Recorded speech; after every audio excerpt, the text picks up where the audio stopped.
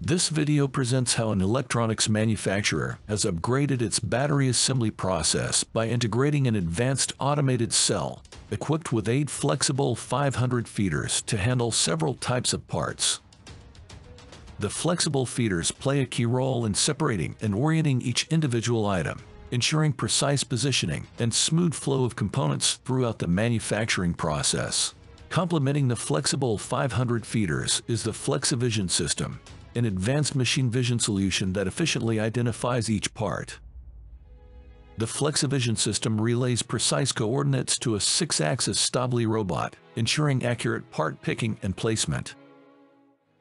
By integrating this advanced automation line, the manufacturing company has significantly enhanced its assembly process, achieving an impressive feed rate of 240 parts per minute